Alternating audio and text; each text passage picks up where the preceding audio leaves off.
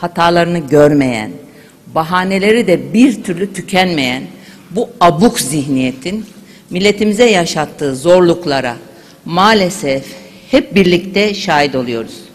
Cahilliğin resmini çizen fantastik teo- teorilerle, geceden gündüze değişen tutarsız kararlarla, saçmalamada rekor kıran garip açıklamalarla 1970'lerde denenip başarısız olan uygulamaların 2022 Türkiye'si için mucize olarak ambala- ambalajlandığı hamasi sunumlarla adeta her gün sınanıyoruz.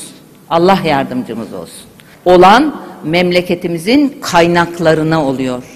Köklü kurumlarımız liyakatsiz kadroların elinde zarar görüyor. Çünkü bu bir irade meselesi. Bu bir vizyon meselesi.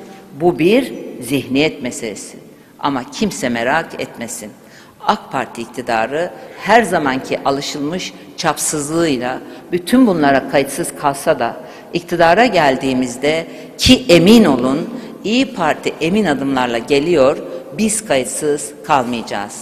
Devletin her vatandaşını eşit ve fark gözetmeden kapsamasını, fırsatları herkese aynı cömertlikte sunmasını sağlayacağız. Bugün tarımda, sanayide ve hizmet sektöründe düzgün denetim yolları kullanılmadığı için genç ve kadın çalışanlarımızın yerini daha kötü koşullarda ve güvencesiz çalışmayı kabul eden sığınmacılar alıyor.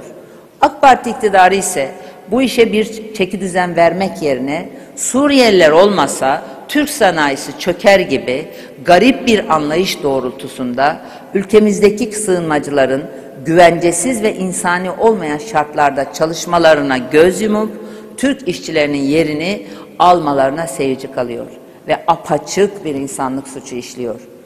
Hatırlayın, bu arkadaşlar iktidara geldiklerinden beri özel sektöre dayalı bir büyüme ve istihdam modeli inşa edeceklerini söyleye söyleye geldiler. Ama ilginçtir, nedense son yıllarda bunu pek duymuyoruz. Neden mi?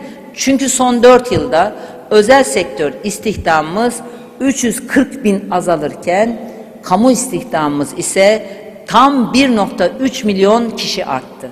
İşte ise AK Parti'nin işsizlikle mücadele anlayışı. Bizim anlayışımıza göre işsizlikle istihdam yaratarak mücadele edilir.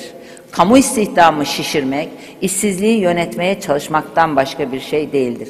Ama AK Parti çözmeyi beceremediği her sorunda olduğu gibi işsizliği de yönetmeye çalışmayı tercih ediyor.